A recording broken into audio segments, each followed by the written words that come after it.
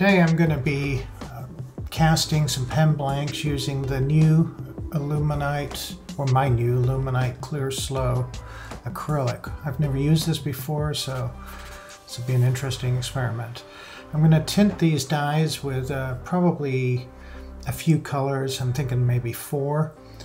And uh, so I've got multiple cups here to mix uh, the various colors. I'm also going to vacuum the acrylic before I mix it to get some of the bubbles out. And then once it's mixed, I'm going to use a pressure pot uh, to compress the, any remaining bubbles. For this acrylic, you need scales uh, because this is one-to-one -one based on weight. And of course, I got some rubber gloves and some stir sticks and various things. Uh, I'm also going to try these Mixol dyes for the first time, and I'm using the rubber mold that I actually built in a previous video, or made in a previous video.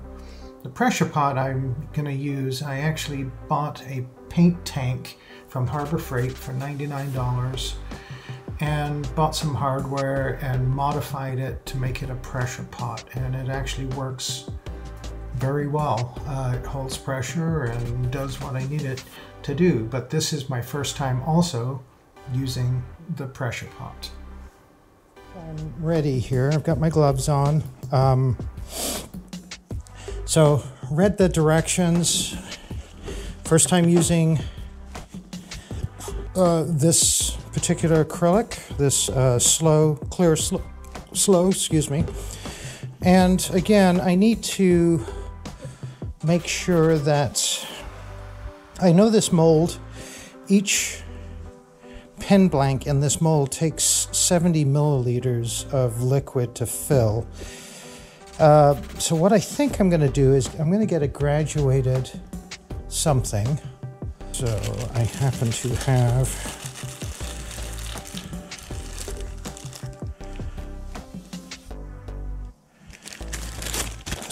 supply of these.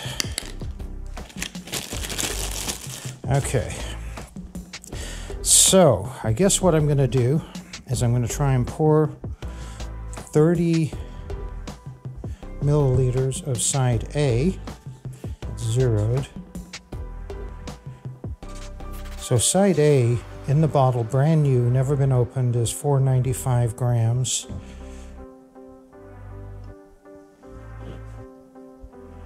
Side B is 490 grams. Let me re-zero this and try this again.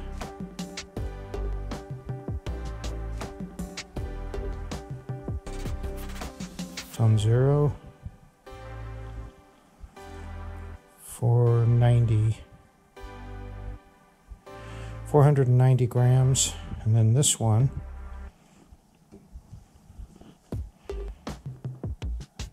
495 grams. So there's five grams difference between the two bottles. I'm not sure that's huge, but that what that tells me is I can go ahead and use side A and get 70 milliliters of that in a cup.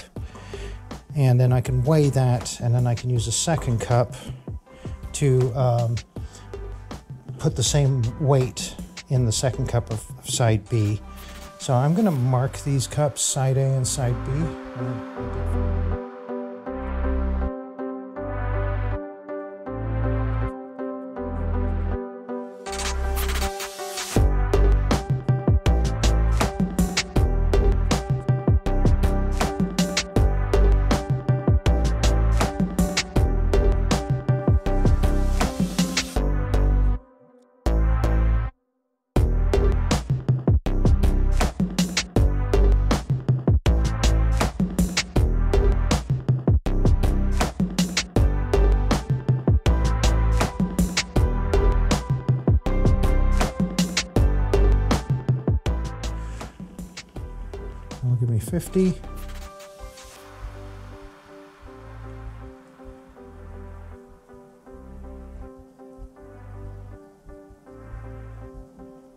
another 25. And again, this doesn't have to be exact. I just don't want to waste any. So I'm, I'm thinking if I get it as close to the amount that I, I need, then I'll fill the pen blank up or two pen blanks up and not really have any wasted. If I overfill it, um, if I get too much, then, you know, I'll waste a little bit. Okay, so I've got 50 milliliters in there, so I need 20. 20, all right.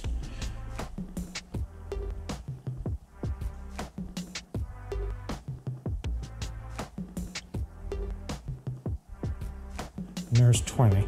And again, because we're going to weigh part A and part B,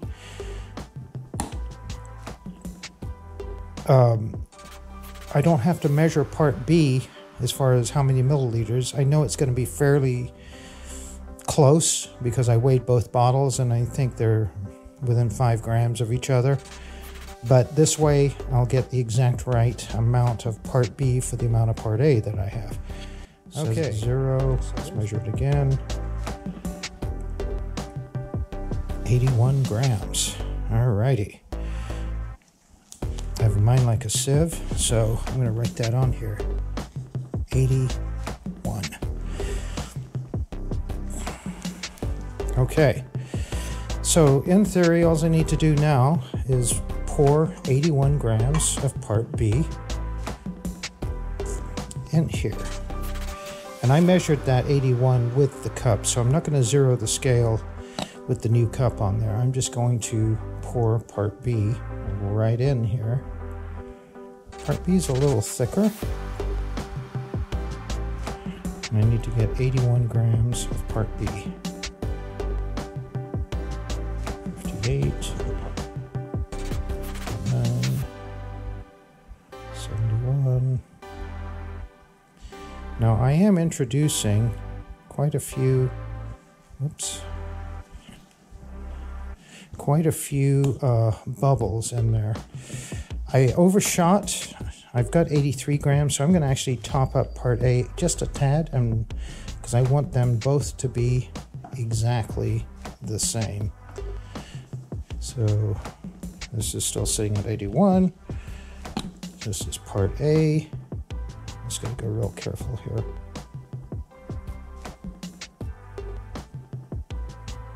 Eighty-two.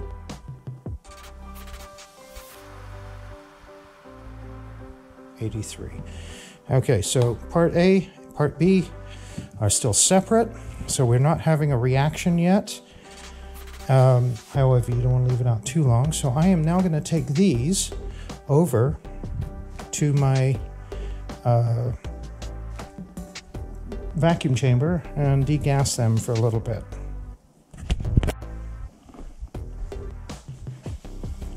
I'm just going to set these right down inside there.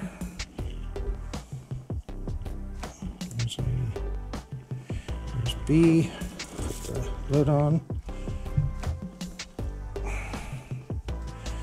And I'm going to start my pump. Let's close these valves up as the pressure now is building.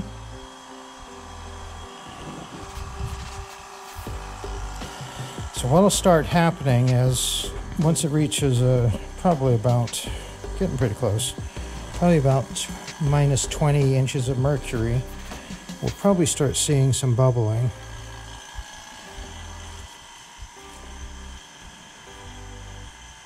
There are some bubbles in there. They've actually already come to the top and they're starting to pop. And we just passed 20 inches of mercury, so I'm going to let that go all the way up.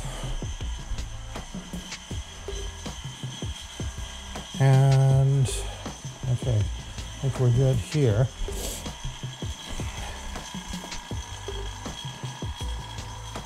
At 25 now. Move my vacuum pump out of the way a little bit. Okay. Actually, there's not a whole lot of bubbles. There's some in the part B side, couple in part A, but not bad. I'm going to let that actually run. Oh, part B is really starting to bubble now and foam up. I don't know if you can see this, but it's like part B is expanding. It's because of all the air that's coming up to the surface it's actually um,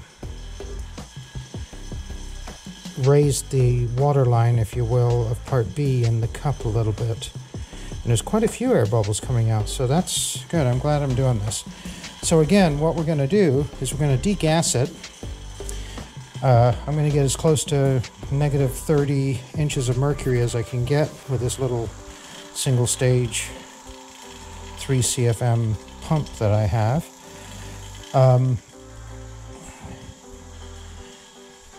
we'll let that sit for a while. I don't have the same time constraint because I haven't mixed parts A and parts B, or A side and B side yet. So it's uh, not, we're not restricted by the uh, time limit yet. Although you don't want to leave it in here too long. Um, but enough time for the bubbles to come out. So I'm going to let that sit for a little bit and turn off the cameras and come back. Mixed perfectly well. You've got about 10 minutes, uh, 10 to 12 minutes. I think 12 minutes is the max. So I set my timer for 10. That gives me a couple of minutes to get it in the pressure pot over here um, once it's mixed and poured into the molds. The other thing is, is this Mixol, uh, this is a, got 12 colors in it. They're numbered 1 through 12. I call it their standard, uh, their standard set of tints. And I'm, I've got color number 4, which is oxide red, and color number 6, which is maize yellow. And then these are Alumilite Flo red dye and Flo yellow dye. So hopefully um, these will these will be good. And then this is micro pearl. It's got 652 on it, so I'm assuming that's a color code. But on the back it says JPX 16. Oh, maybe it's JPXI 652 micro pearl. Okay. All right. So those are the things I'm going to use to color stuff. Uh, we're pretty much done with the scale for now, but I'm going to keep it out just in case. I'll probably just move it out of the way here.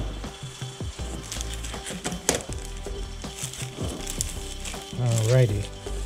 And we're actually done with these two bottles. And I'll take those back in shortly. Okay, so let's go check the uh, vacuum pot. Okay, so we're running at about uh, 28 and a half inches of mercury. So, uh, negative 28 and a half, that is, inches of mercury. There are a few bubbles in part B. Part A is completely stable. So I think part A is actually degassed. Um, eh, it's still got a couple of little bubbles. I just saw three. They're coming up every once in a while. Part B is still bubbling fairly good. I'm going to let some air reduce the pressure because that sometimes helps pop the bubbles. And then let it build back up again. I'm probably not going to do this too much longer. Um, it's been running probably five, six minutes now. And not too long, but we'll let it go a little bit longer. I want this to to look good when it's done. So, okay, so I think we've given it enough time. So let's go get it out of the pressure or the vacuum chamber. Yeah, it looks pretty good. Some bubbles in there. They all dissipate when I release the uh, pressure. So I'm to turn the vacuum pump off. Going to start releasing the pressure here.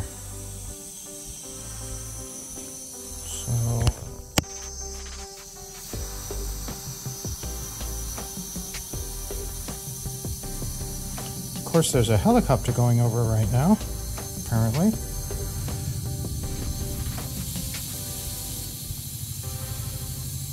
The California Fire Department run these drills about once a month and they all fly in formation and I think that's what's going on because this is about the third helicopter I've heard. So the uh, gas is uh, or the air is now stabilized. I'm going to move this out.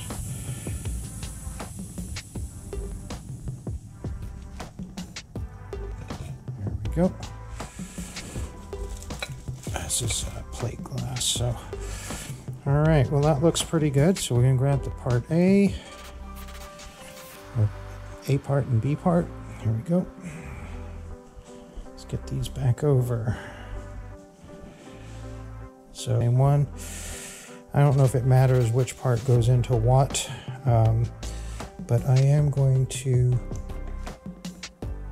start my timer. There we go. And I'm going to start pouring, pouring part A.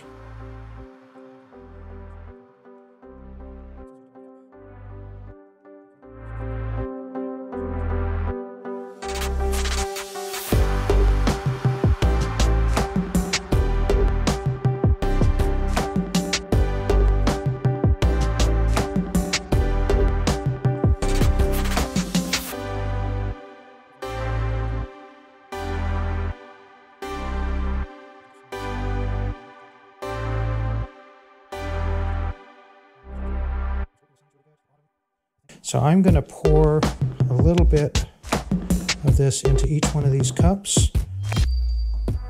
There we go. There's one. There's two. There's three. And then this one. Each cup's going to get its own stir stick. And I'm going to put a little color in each. I have no idea how much to use. So we'll just uh, do a few drops and see how that does. If you can see that. That was the uh, number six. A little, um, little streaky. That's the Mixol number six. Here's Mixol number four. That's three drops.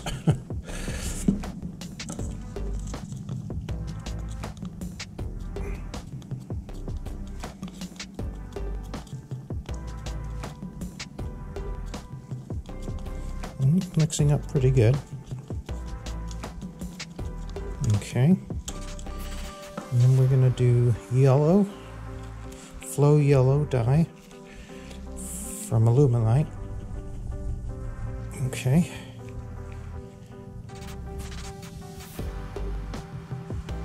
Well, I had this problem with Alumilite the last time. I've tried to unplug the holes, but it still just doesn't want to work. So I'm going to grab a different dye, Castin' Craft, shake it up a little. So let's see. It's a little thicker. So there's the number yellow, or number yellow. There's the yellow Castin' Craft.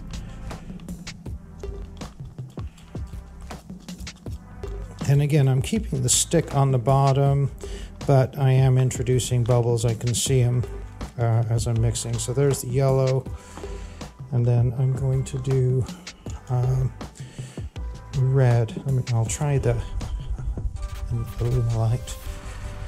Shake it up really good. Now I went through and opened up these these holes. There we go. There's some red. And um, the last time I tried to use them, but obviously having them sit for a week, they closed back up. Well, that that's a fluorescent red if there ever was one. Okay, well, it's a fluorescent red and a fluorescent yellow, but I used a regular yellow. Okay, so here we go.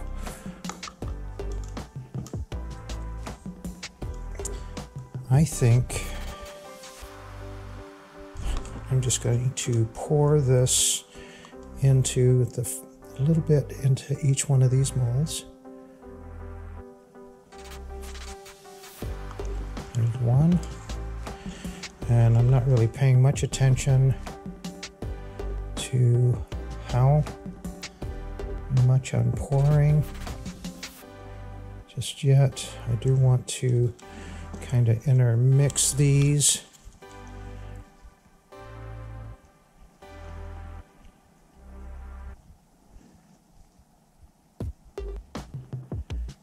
And I'm looking for a random pattern, you know, so we'll see what this turns out like.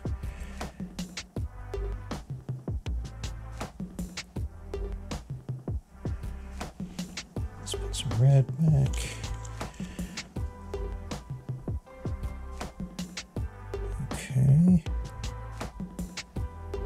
Theory, I'll need all of this dye, all of this uh, acrylic rather, for these uh, blanks.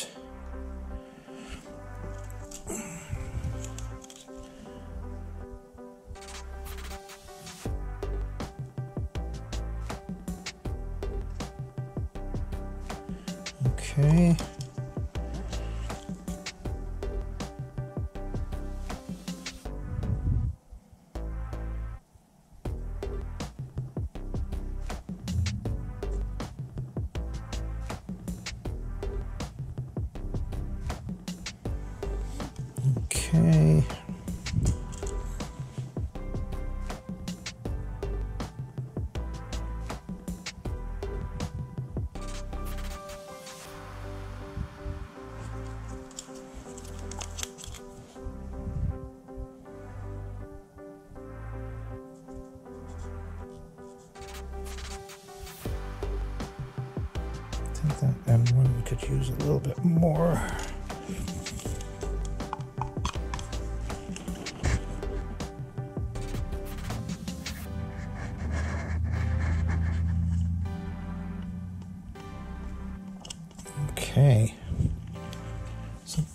Fairly even.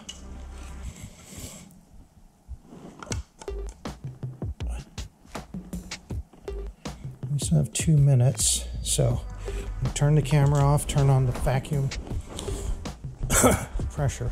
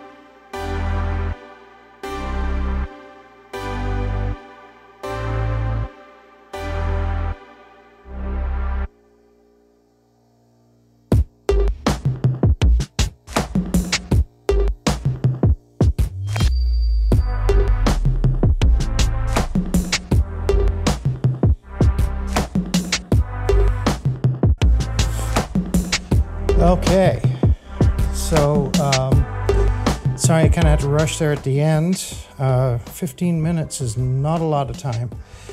So I uh, went ahead, as you saw, mixed up the various colors. Um, I still have a little left over of each color here, so I'm probably a little light in my in my uh, pen blanks, but um, mixed up each color. I did degas the A part and B part ahead of time. I would wanted to degas it one more time after the colors were mixed, I wanted to throw the colors into the vacuum chamber. Um, I just ran out of time. Um, so I might I might have to think about this a little bit because obviously, well, not obviously, but there is benefit to degassing once more uh, after you mix the colors because you do introduce um, some bubbles, some air into the process. And uh, I'm not sure. I know that the pressure pot that I've got it in now and I did make it in time for the pressure pot. So um, the pressure pot basically compresses the little air bubbles, whereas the vacuum chamber expands the, it kind of pulls the air, so it expands the air out and uh, and um,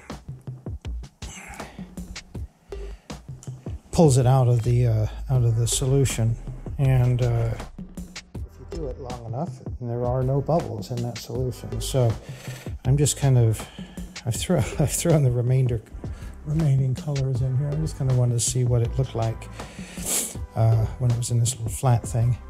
So, uh, had an issue with um, this yellow coming out. Uh, these are fluorescent colors, and I guess I didn't realize that when I grabbed them. So I ended up using the Castin' Craft um, uh, opaque pigment concentrate for coloring polyester and epoxy res resins. Okay. Um, I just put like three drops, three, four drops in there, uh, and it seemed to uh, color it fairly well. So we'll see how it does For two to four hours. So I'm to leave it in there for four hours. It's a little chilly today. It says it's uh, 55 degrees in my garage, so I've got a sweatshirt on. Anyway, um, so I'm going to leave it sit in here, and then we'll come back and take a look at it after four hours. It's right at noon, so it'll be four this evening.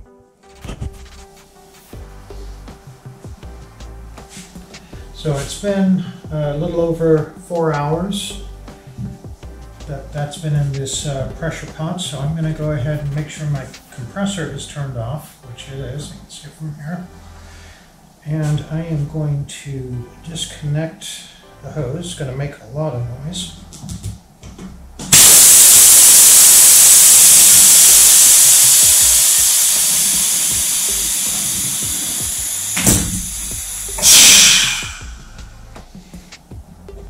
Meant to close that valve first so that the air didn't rush out that way, but oh well, live and learn. So there we go. The uh, pressure has been released.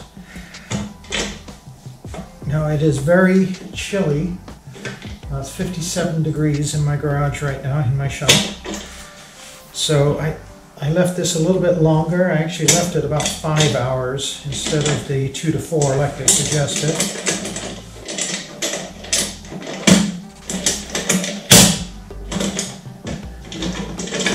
This is my first time actually using uh, the pressure pot as well.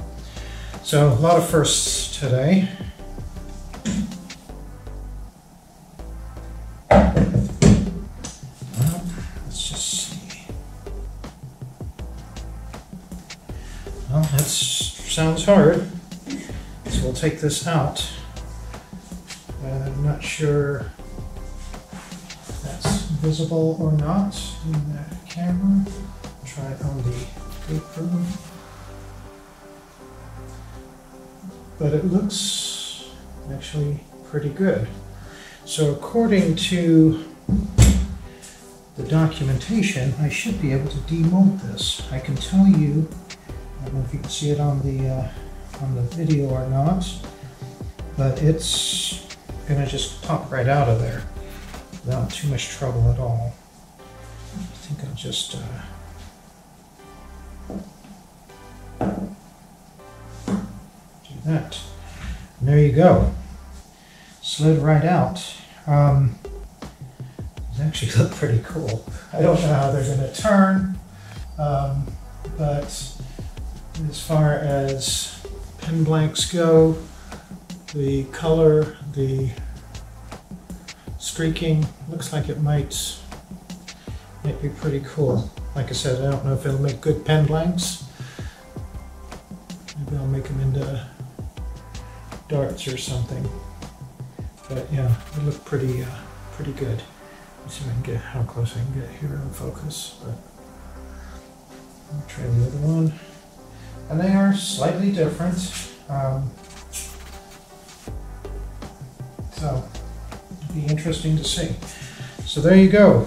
Um, casting the clear slow Alumilite, uh, clear slow, using some dyes, using a pressure pot, using a vacuum chamber, and I don't see any bubbles, so um, it's kind of cool. Thank you for watching.